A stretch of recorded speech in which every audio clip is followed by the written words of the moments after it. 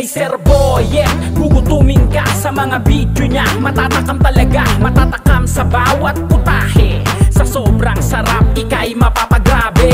Kaya mga kabayan, manood kayo. Kay Sir Boyet, mapapawaw kayo. Mga lutong panghandaan at pampulutan Kakaibang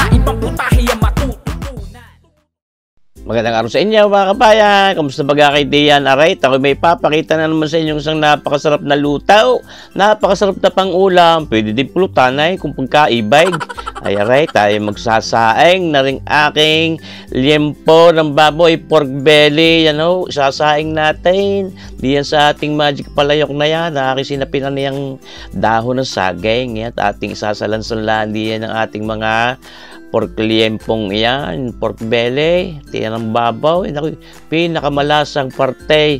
Sa katawan ng babaw, yan natin hong, nilagyan muna ng unang layer at ito ang ating gagamiting paasa, yung paborito ko sa mga sinaing, yung ating sampalok na nakipil na gayaan. Pagka wala namang gaya, pwede yung kalamas na tuyaw, mga kabayan, ito sunod, sunod nating layer naman ang ating isasalansang papagayaan mga kabayan sa inyong nakikita.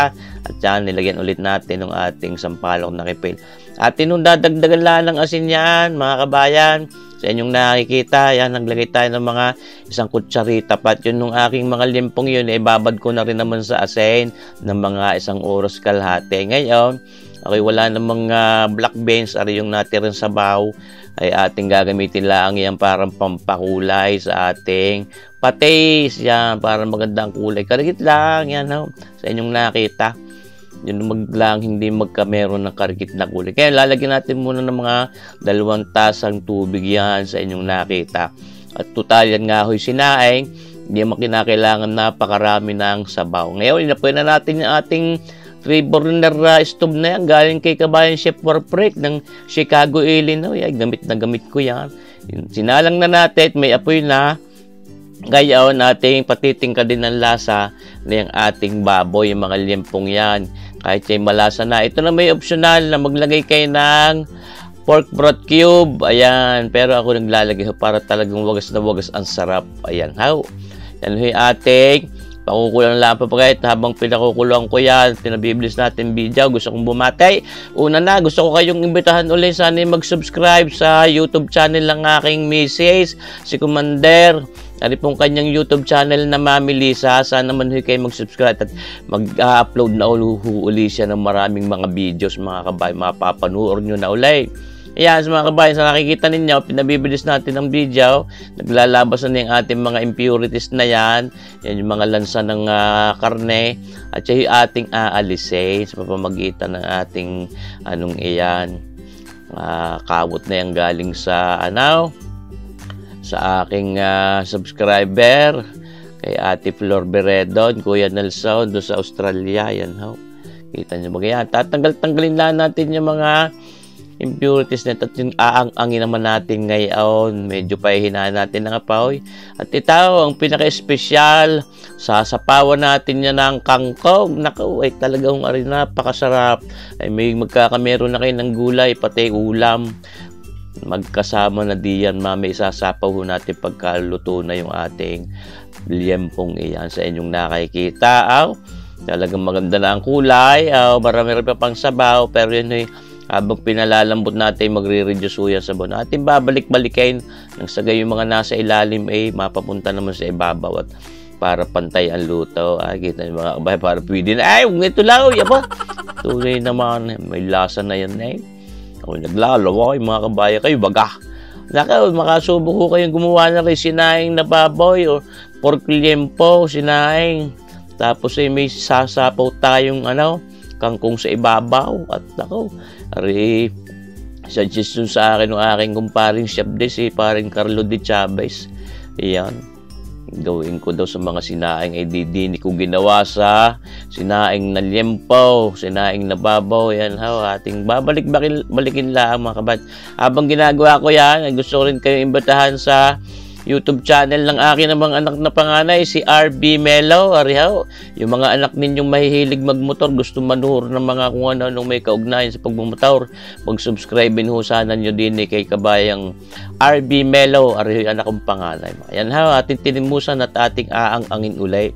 yung ating sinaing na baboy na yan. Yan ho, babalik-balik kayo, nakikita ninyo, medyo nagre-reduce na ho yung sabaw na yan, pinaka-taste. Yan, pagkaluto na ay talagang hahanguin natin diyan sa palayaw, lalo yung patis na yan. Yan yung maiiga, mabulitan ninyo wala na kayong patis. Ayan, nag-evaporate na yan. How? Ayos na, malambot na yung ating liyempong iyan, mga kabayan. Ay, talaga ako'y napapalaway ay tunay ka. Itaw ngayon, sasapaw na natin yung mga pinagtangkayan yung ating kangkong. Yung matitigas munang parte ng kangkong, yan yung mga tangkay. Yan ang una nating isasapaw diyan sa ibabaw. Yung ating sinaing nababaw. Ay, kita nyo ba gayaan? Ay, kumpletos ricados. Di ba gay? Pagka hindi sumarap ang lantak ninyo mamaya, atin hong aangangin muna ulit siya. Habang ginagawa, gustong batiin nga pa ng belated happy birthday. Si kabayang Alma Mabel magbuhat pag sinuhin, kari kaibigan ko din. Birthday noong February 7, 2022. Pagpalayan ka palalo na Panginoon nating Diyos.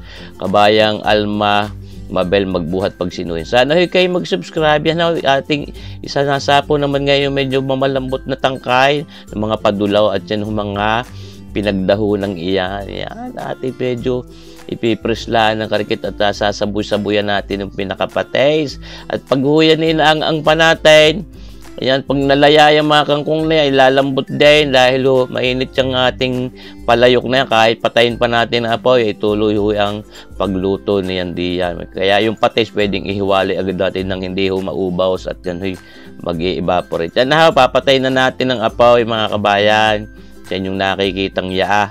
Oh, tapos ay Ayan, isisintro uli natin din sa camera, siyempre. Oh. Yan yung bisitahin nga natin. Ayan na. Iyan na ho, pina-excite po ay ho. Ayun, medyo nalalaya na rin yung ating ano. Kaya nga sabi ko, yan, nakuto pa yan, nabulak pa. Kahit wala nang apaw, yan ho yung ating palayaw. Napakasarap magsaing din yan sa palayaw.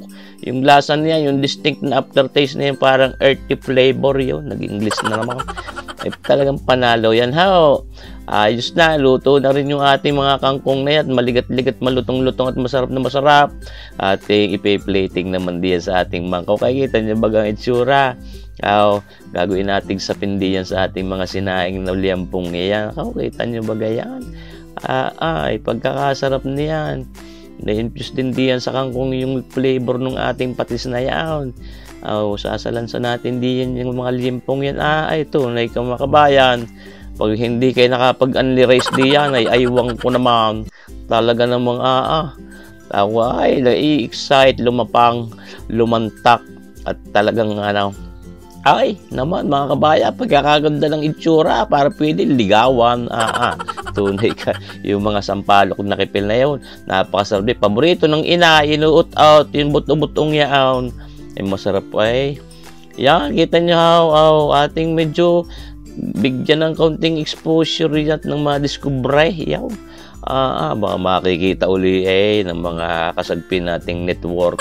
Uh, arihaw ang sinaing na babaw sinaing na pork belly o liempo ng babaw na may sapaw na kangkong na papagarne at may masarap na pates at merong mga pansukang anong ano yan buto ng sampalo kung nakipeli yaw na talaga namang panalo yung pagkakasarap niyan mga kabayan ay ako'y lalantak na. Yan nakita nyo ba? Gayaan tapos may ginayat pa dong kamates at sibuyas. Ayaon sasapawan natin ng karikit na patis na yung ating sinaing na babaw ayaw kita nyo ba? Gayaon mga kabayan. Ah, ay sauce ko po. Tunay na ang pagsasakol din ay siyang siya na nag-aanyayang maigay. Oh, oh, talaga namang napakasarap ng patis na yaw. Tunay ka po mga kabayan. Sana kayo makapagluto rin ng papagarnay. Habang ginagawa ko yung paglantak na yan, gusto kong batiin si kabayang Alex Gikaw ng Tunasan, Muntinlupa na nasa sa Sydney, Australia.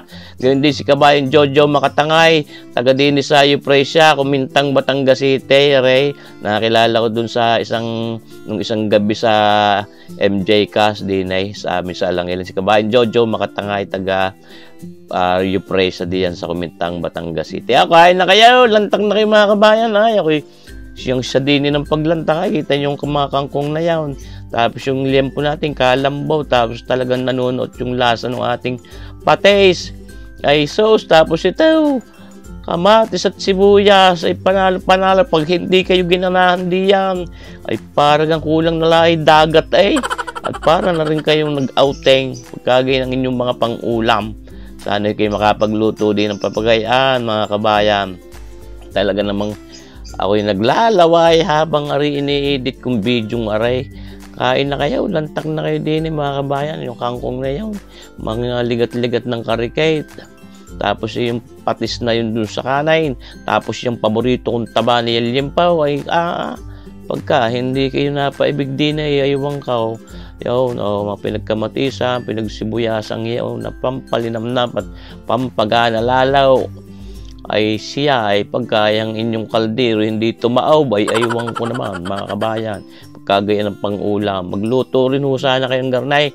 Kung nasubukan nyo na rin yung aking pinakita, yung ipinakita rin ng GMA7 sa kapuso mo Jessica So, yung aking sinaing na manok, ay naku, mas masarap pa kung tutusin. Sabi ko sa inyo, inyong subukan magluto na rin. Approve na approve. Ako hindi mapapaya sa inyo.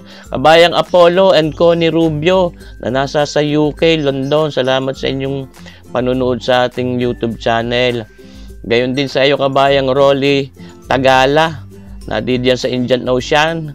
Kung gina hanggang ngayon naglalangoy pa diyan joke lang kabayang Rolly Tagala. Salamat sa panunood kabayang uh, Ronald Baron ng Saudi Arabia. Ay ay lantang na din ikaw kabayan Oh, salamat sa panonood kabayang Rolly Tagala at Ronald Baron. Kabayang Willie Flores na nasa Macau. Kabayan Willie Flores, shout out sa iyo. Salamat sa panonood ha, kabayan. At din eh, kay kabayang uh, food trip ni Glenn. YouTube channel yata. Food trip ni Glenn na nasa sa Canada. Inyong sinsayan yung kanyang YouTube channel. At dito, kay kabayang Aida Karunungan na nasa sa Rome, Italy. Ay di bagahaw, ay talagang marami-rami tayong nabatay. Ay, ay tuloy naman ang lantakaw. Nakailang kanin ka na baga di yan? Ba ba, nagkakalimutan. O ilay nakapag-shoutout di ko yate, nakailang lantak na ng kanin di yan. Sarap na sarap ba eh. Siga bahay sa buye. Tay kita niyo mag liempo. Wala nang uuna pa sa sarap at lasa ng liempo ng babaw eh. Dahil yan ho ang pinakamalasa. Sana huwag kayo may ingayan sa akin ha. Yung mga naiingayan, ulitin ko ha. Garnin na ho ang sistema ni Sir Buyet sa pool na sa Paul. Ay pagka kayo naririnday, pwede namang i-mute. Ayun ha, mga kabayo. Pasisya na ho ha. Doon sa naiingayan. Talaga ko para yayaw yay. Tunay ka naman.